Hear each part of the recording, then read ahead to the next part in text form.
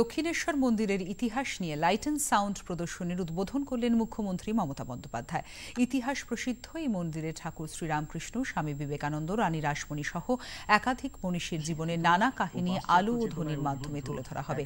পাশাপাশি কুঠিবাড়িতে রানী রাসমণি শ্রীরামকৃষ্ণের স্মৃতি বিজড়িত নানা সামগ্রীর একটি বিশেষ প্রদর্শনীর উদ্বোধন করেন মুখ্যমন্ত্রী। এখানে রানী রাসমণি ব্যবহৃত শ্বেত পাথরের সিংহাসন ঠাকুর শ্রীরামকৃষ্ণের পোশাক মা ভবতারিণীর ঐতিহাসিক খর্গ সহ নানা দ্রষ্টব্য সামগ্রী রয়েছে। মুখ্যমন্ত্রী বলেন, সব ধর্মকে সমান মর্যাদা দেওয়া বাংলার ঐতিহ্য। এখানে ধর্মের নামে রাজনীতি বরদাস্ত করা হবে না। অনেকে বলে, আমি নাকি নামাজ পড়ি। নামাজ আমি পড়ি না, আমি এলাও কোথায়? আমি ইফতারে যাই। যেটা হচ্ছে, উপোস ভাঙার পরে সব ধর্মকে মিলে আমরা ইফতার করি। অসুবিধার কি আছে? আমি দুর্গাপুজোয় গেলে তো কেউ কোনো কোশ্চেন করে না? তা আমি এদিকে গেলে তোমার আপত্তির কি ভাই? আমার দেশে তো সব রকমের লোক আছে। আমি যদি জৈন মন্দিরে যাই, আপত্তির কি ভাই?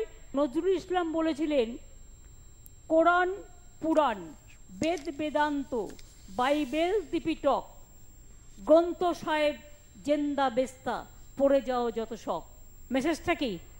সব ধর্মগ্রন্থকে শ্রদ্ধা করো, সব ধর্মগ্রন্থ পড়ো, সব ধর্মগ্রন্থকে নিয়ে চলো। যে কথা রামকৃষ্ণ পরমংশদেব বলেছে।